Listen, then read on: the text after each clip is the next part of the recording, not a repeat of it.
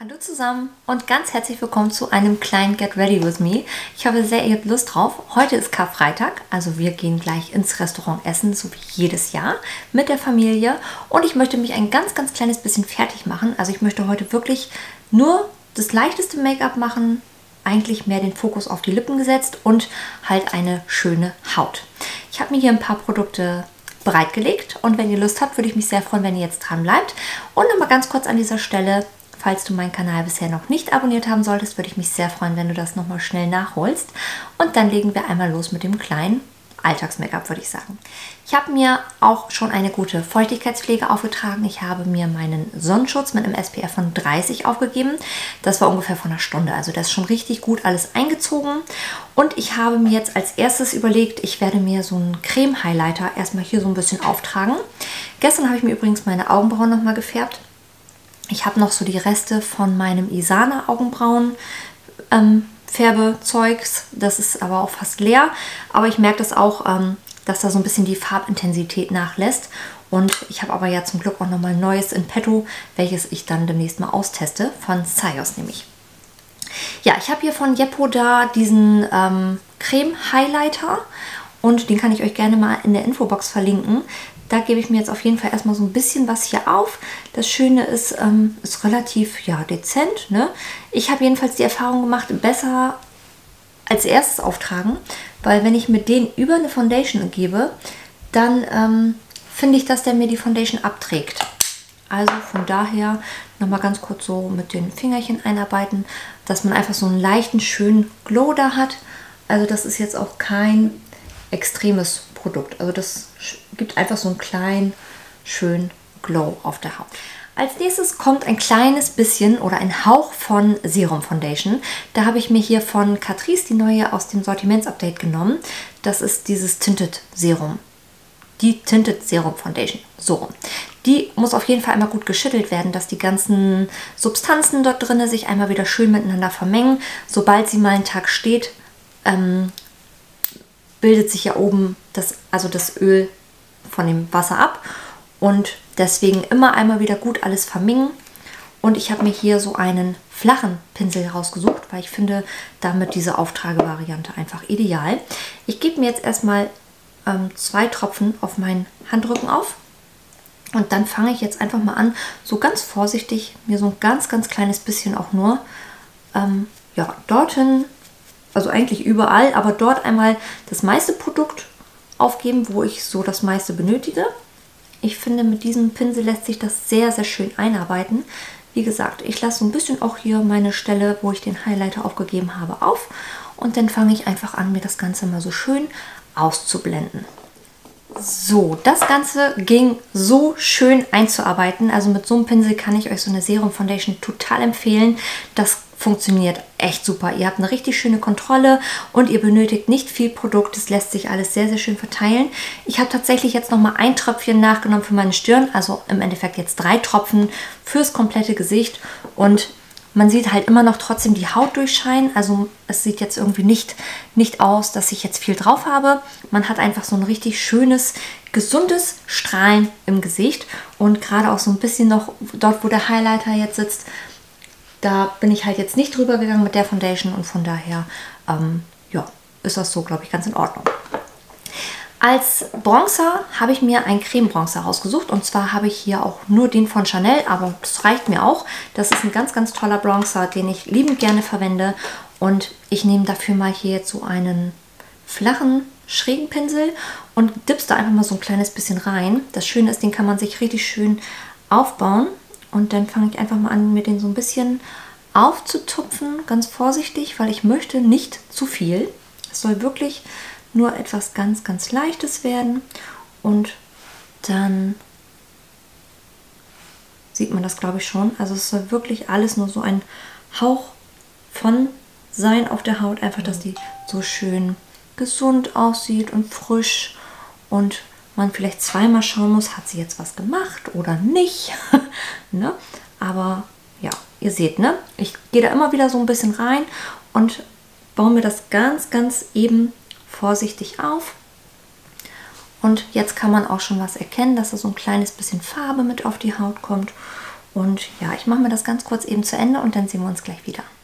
So, das Ganze habe ich mir jetzt soweit ganz gut eingearbeitet und das Schöne ist ja, der ist zwar in einem relativ dunklen Farbton, wenn man den so sieht, aber das Schöne ist wirklich, ähm, selbst jetzt noch mit meiner Winterblässe kann ich den sehr gut benutzen, weil der nicht so, so krass ist auf einmal. Also man kann sich den schön aufbauen, habt ihr ja am Anfang gesehen.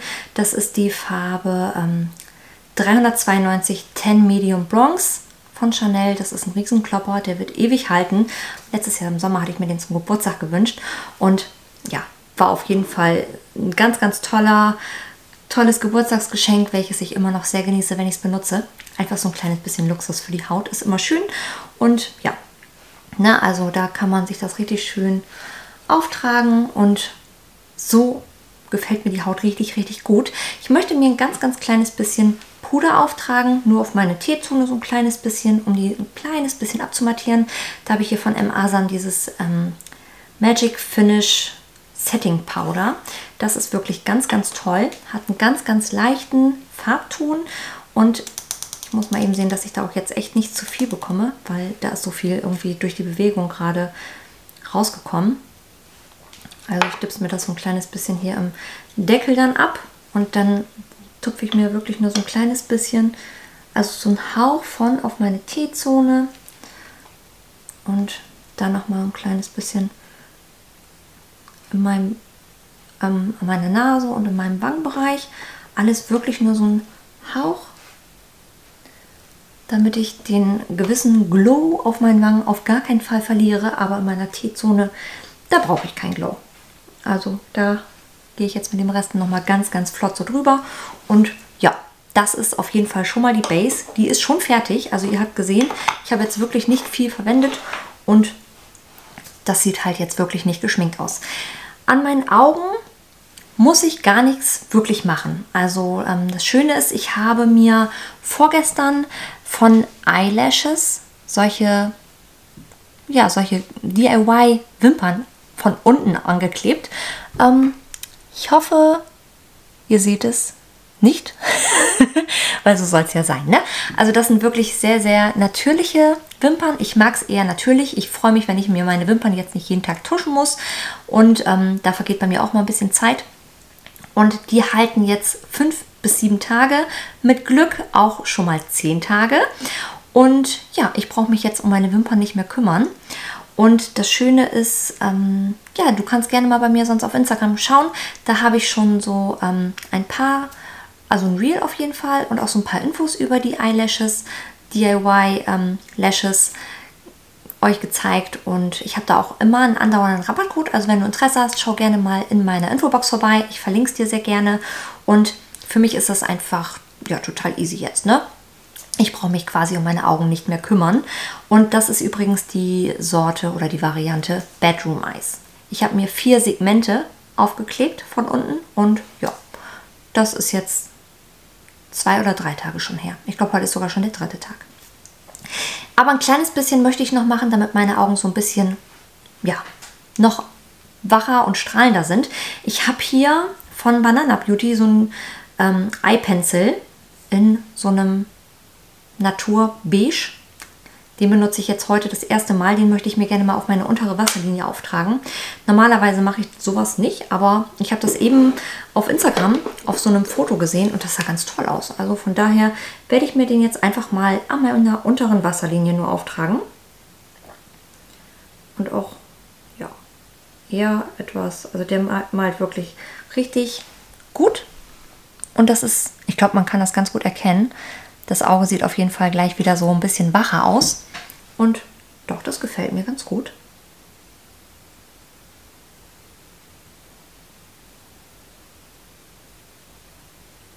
Das ist natürlich auch ähm, von so her schön, wenn man einen Stift hat, der dann auch wirklich gut malt. Und der jetzt von Banana Beauty, der malt sehr, sehr gut. Den habe ich mir mal aus dem Tauschpaket rausgenommen. Ja, und jetzt heute mal das erste Mal verwendet. Und ja, ist okay. Jetzt gebe ich mir noch ein bisschen Mascara an die unteren Wimpern. Und zwar greife ich jetzt einfach mal hier zu dieser Bye Bye Panda Eyes Mascara von Essence. Die ist auch fast leer und ich mag es gerne mit fast leeren Mascaras mir meine unteren Wimpern zu tischen, weil ähm, da dippst nicht so viel ab dann. So würde das Ganze dann einmal fertig aussehen. Ja, schnell gemacht, ne? Gerade wenn man die oberen Wimpern schon soweit fertig hat und dann nichts mehr machen muss. Ich finde das ganz, ganz toll, dieses Lash-System. Ich komme damit richtig gut zurecht. Und ähm, jetzt habe ich mir meine Haare angetuscht. Ja, so. Das war's schon. Augen sind schon fertig. Jetzt will ich mir noch ein kleines bisschen meine Augenbrauen doch nochmal nachmalen. Wo ist mein Augenbrauenstift? So, gefunden. Und zwar habe ich hier von L'Oreal den, den Brow Artist Designer in, wie immer, 303 Dark Brunette. Kann ich mir nicht merken. Und da gehe ich jetzt einfach mal eben ganz kurz so ein bisschen mit dem Bürstchen da durch. Und dann gehe ich noch mal ein bisschen einfach meiner natürlichen braunen Wachstumslinie nach. Einfach so kleine Strichelchen, um sie so ein bisschen noch mal aufzufüllen.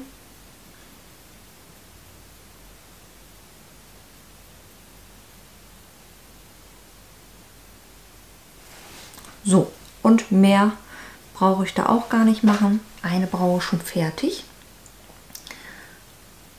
Hier auch nochmal das gleiche. Ich möchte mir noch ein kleines bisschen Augenbrauen-Mascara drüber geben und da habe ich hier von NYX die Thick It Stick It. Die habt ihr auch schon ganz häufig in meinen Videos gesehen. Und da gehe ich jetzt einfach noch mal ein bisschen nach, hinterher quasi, damit meine Brauen so ein bisschen fluffiger aussehen und ich sie mir so ein bisschen in die richtige Richtung bürsten kann, so wie ich sie gerne hätte.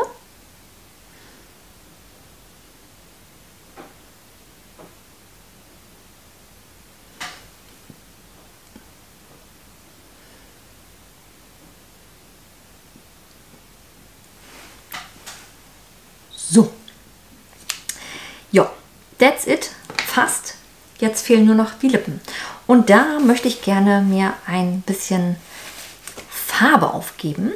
Ja, an meinen Lippen möchte ich mir ein bisschen Farbe auftragen. Und da habe ich mir von Jeffree Star ein Velour Liquid Lipstick rausgesucht, weil ich finde die Farbe einfach so schön. Jetzt passend für den Frühling. Das ist die Farbe Jeffrey Who. Ja, und den gebe ich mir dann jetzt einfach mal auf. Das ist so ein schöner ja, Rosenholzton. Also ihr werdet das gleich einfach mal sehen. Nee, der passt nicht. Leider, nee. Nee, passt irgendwie nicht zum Look. Muss ein bisschen was Dezenteres her. Jetzt muss man eben umzwitschen. Dann nehmen wir doch einfach, ich habe hier auch so eine schöne Liquid Lipstick Farbe von Manhattan. Und zwar ist der das. Den trage ich mir jetzt mal auf. Und das ist die Farbe Grin and It 400. Ich glaube, der ist besser. Ja, das ist ein richtig schöner Nude-Ton. Das ist so die perfekte Alltagsfarbe. Und ich finde auch diese Manhattan Lipsticks, diese Lasting Perfection, 16 Stunden, die sind wirklich richtig, richtig gut. Lasst euch nicht irritieren von den Farben, wie man sie hier drauf sieht. Ich finde, die kommen so heftig anders rüber. Aber es lohnt sich, die sich mal anzuschauen. Die halten wirklich richtig, richtig gut. Der muss jetzt einmal antrocknen und danach gehe ich dann einfach nochmal hier mit so einem Pflegestift drüber. Den kennt man ja auch von diesen Maybelline Lippenstiften, Lipsticks und das ist dann einfach so eine Lippenpflege, die schön Glanz verleiht und dass die Lippen nicht austrocknen. Und ja, ich trage mir das gleich nochmal eben kurz aus, auf und dann sehen wir uns nochmal zum Fazit wieder. So, der ist jetzt schon mal angetrocknet. Dann gehe ich da jetzt einmal noch drüber. Total einfach, ne? Da braucht man jetzt auch gar keinen Spiegel für. Das kann man so nachtragen. Mm, ja, das ist mein fixes, schnelles, easy, quasi no Make-up, Make-up kann man sagen. Also das ist wirklich ein ganz, ganz leichter, dezenter Look die Haut sieht schön gepflegt aus und einfach so ein bisschen glowy. Und ja, man hat einfach nicht viel gemacht mit wenig Produkten. Gefällt mir immer persönlich sehr, sehr gut. Und Ihr könnt mir ja gerne mal in die Kommentare schreiben, wie euch der Look gefällt oder ob ihr noch irgendwie vielleicht ein bisschen was anders machen würdet oder wo ich vielleicht doch noch ein bisschen mehr auftragen könnte. Ähm, vielleicht könnte ich noch ein kleines bisschen mehr Bronze auftragen. Ich glaube, den gebe ich mir gleich nochmal nachträglich ein bisschen mehr drüber, einfach für noch ein bisschen mehr Frische. Oder ja, vielleicht auch Blush. Mal gucken. Ansonsten würde ich den Look einfach so lassen und ich bedanke mich ganz herzlich bei euch fürs Zuschauen. Ich wünsche euch allen einen wunderschönen Tag und genießt das schöne Wetter. Bei uns ist ja jetzt die nächste Zeit immer nur Sonne und das ist so schön. Und gestern habe ich auch so ein Stündchen in der Sonne gelegen, also gesessen quasi. Das war richtig, richtig schön. Bisschen Vitamin K wieder aufnehmen, ne? Das hat irgendwie so richtig gefehlt in letzter Zeit. Ja, wie gesagt, ich wünsche euch alles Gute, bleibt schön gesund und ich hoffe, ihr schaltet beim nächsten Mal wieder ein. Macht's gut, bis dann. Tschüss.